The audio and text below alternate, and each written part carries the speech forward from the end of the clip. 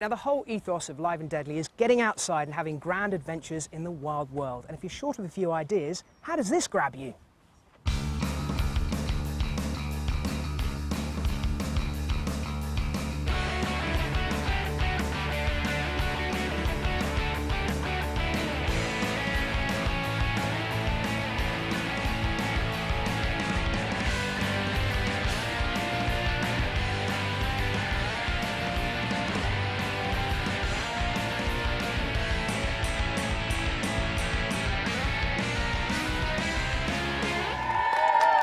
Cycling down a mountain on one wheel, these guys are really after my own heart. And guess what? They're here right now.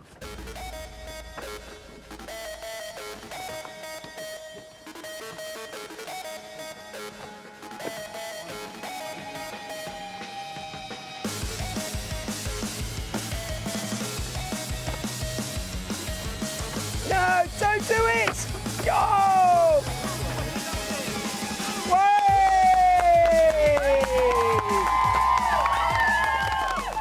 Unbelievable. I had my heart in my mouth over there. Although obviously I'm going to show you how to do that thing I was talking Oh, about earlier on. yeah, that, yeah. that, that Thanks, spin Steve. flip thing, yeah. um, how long guys, have you guys been unicycling? Uh, I've been running for about eight years now. Um, I've been about seven and a half. Right, yeah.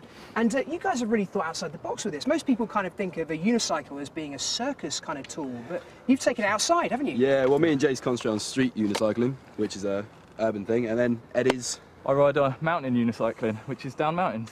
Fantastic. So was that you in the in the That's, shots we that's me there? in the video, yeah. That was really, really impressive. Where was that? Uh, that's Snowdonia in North Wales. One of my favourite parts of the world. Uh, getting outside and doing this in the wild world. Um, have you ever seen any cool wildlife?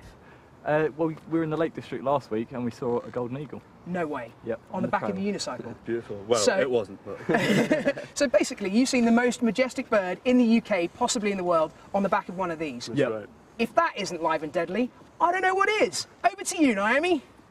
That was spectacular. I loved it. Now,